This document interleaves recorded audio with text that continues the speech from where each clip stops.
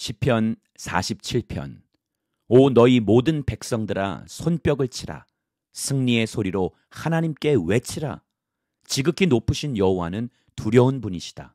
온 땅을 다스리시는 위대한 왕이시다. 그분은 사람들을 우리 아래 복종시키시고 저 민족들을 우리 발 아래 두실 것이다. 우리를 위해 유산을 선택하셨는데 그것은 바로 그분이 사랑하시는 야곱의 자랑거리다. 셀라. 기뻐 외치는 소리와 함께 하나님께서 나팔 소리 울리는 가운데 올라가셨다. 찬양하라. 하나님을 찬양하라. 찬양하라. 우리 왕을 찬양하라. 하나님은 온 땅의 왕이시니 찬양의 시로 노래하라. 하나님께서 이방 민족들을 통치하신다. 하나님께서 그 거룩한 옥자에 앉으셨다. 백성들 가운데 귀족들이 아브라함의 하나님의 백성이 돼 모여 있구나. 이 땅의 방패들이 하나님께 속해 있으니 그분은 지극히 높임을 받으셨도다. 시편 48편 여호와는 위대하시니 우리 하나님의 성에서 그 거룩한 산에서 크게 찬양을 받으실 것입니다. 그 터가 아름다우니 북쪽에 있는 위대한 왕의 성 시온산이 온 세상의 기쁨이 됩니다. 그 성에 계시는 하나님은 피난처로 알려지셨습니다. 왕들이 연합해서 함께 나아갔다가 그 성을 보고 깜짝 놀라 안 되겠다 싶어 도망쳐 버렸습니다. 해산하는 여인처럼 그들이 두려움에 사로잡혔습니다. 주께서 다시스 배들을 동쪽 바람으로 부수셨습니다. 우리가 들은 대로 만군의 여호와의 성에서 우리 하나님의 성에서 우리가 보았으니 하나님께서 그 성을 영원히 세우실 것입니다. 셀라.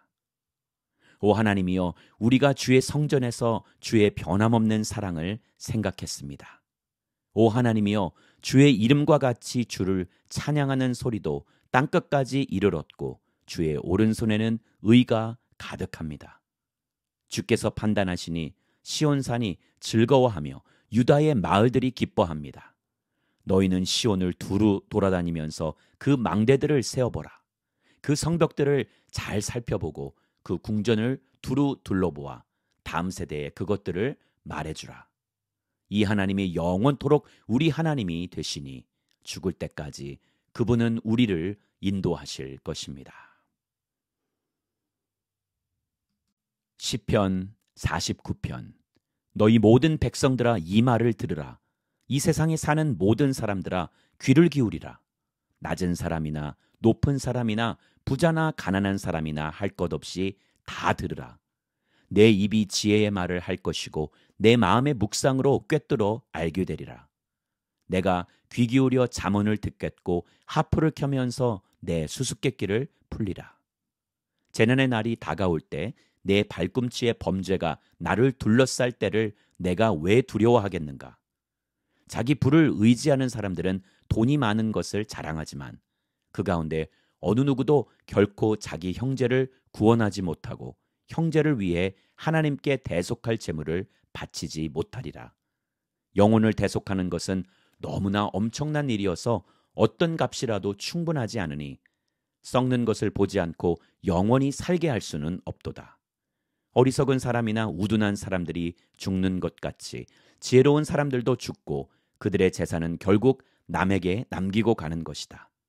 그들이 속으로는 자기 집이 영원히 남고 그 거처가 대대로 있을 것이라며 그 땅도 자기들 이름을 따서 붙이지만 제 아무리 명예가 있다 해도 사람이란 오래가지 못하고 죽게 돼 있는 짐승과 다를 것이 없다.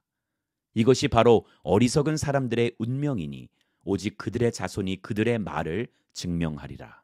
셀라. 그들은 양과 같이 무덤 안에 누워 있으니 죽음이 그들을 다스리리라. 아침이면 정직한 사람들이 그들을 다스릴 것이요. 그들의 아름다움은 무덤에서 사라져 그 흔적조차 없어지겠으나 오직 하나님께서 내 영혼을 무덤의 권세에서 구원하시고 나를 받아주시리라. 셀라. 누가 부자가 돼 그 집이 점점 더 화려해져 간다고 두려워할 것이 없도다. 죽을 때는 아무것도 가져가지 못하고 그 화려함이 그를 따라 내려가지 못하리라. 그가 사는 동안에는 스스로 복이 있다 여기고 그가 잘 돼서 사람들의 칭찬을 받을지라도 결국에는 자기 선조들에게로 돌아가 빛을 보지 못할 게 뻔하도다. 제 아무리 명예가 있다 해도 깨닫지 못하는 사람은 쓰러지고 마는 짐승과 다를 게 무엇이냐. 시편 50편 전능하신 하나님 바로 여호와께서 말씀하셔서 해 뜨는 데부터 해 지는 데까지 세상을 부르셨다. 완벽한 아름다움 그 자체인 시온에서 하나님께서 눈부시게 빛을 내셨다. 우리 하나님께서 잠잠히 오시지 않으실 것이다. 그분 앞에서 삼키는 불이 주위에 폭풍을 일으킬 것이다.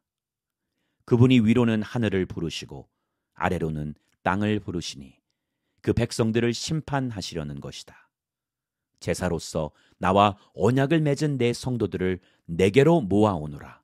하늘이 그 의를 선포할 것이다. 하나님께서 친히 심판자가 되시기 때문이다. 셀라. 오 내 백성들아 들으라. 내가 말한다. 오 이스라엘아 내가 너에 대해 할 말이 있다. 나는 하나님이다. 바로 내 하나님이다. 내가 내 희생제로 너를 책망하지 않을 것이니 너는 계속해서 내 앞에 번제를 드렸다. 나는 내 외양간의 황소도 내 우리의 염소도 가져갈 생각이 없다. 숲속의 동물이 다 내 것이며 수천의 산에 널려 있는 소들도 다 내 것이 아니냐. 내가 산에 있는 새들을 다 알고 있고 들에 있는 동물들도 다 내 것이다. 내가 혹 굶주려도 내게 말하지는 않을 것이다. 세상이 내 것이고 그 안의 모든 것이 내 것이니 말이다. 내가 황소고기를 먹겠느냐? 아니면 염소피를 마시겠느냐? 하나님께서 감사의 제사를 드리고 지극히 높으신 분께 내 서원을 이뤄라. 고통받을 때 나를 불러라. 내가 너를 건지겠고 내가 나를 영화롭게 할 것이다. 그러나 악인들에게는 하나님께서 이렇게 말씀하신다. 내가 무슨 권리로 내 법을 말하고 내 언약을 내 입에 담느냐? 너는 가르침을 싫어해.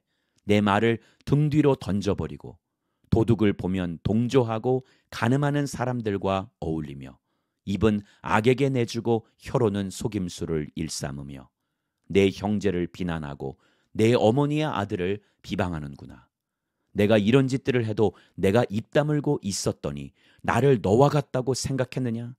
그러나 이제 내가 너를 질책하고 내 눈앞에 내 죄를 차근차근 밝혀 보이겠다.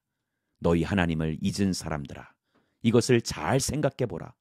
그렇지 않으면 내가 너희를 산산조각 내도 구할 사람이 없을 것이다. 감사의 제사를 드리는 사람은 내게 영광 돌리는 것이니 길을 곧게 닦는 사람에게는 내가 내 구원을 보여주겠다.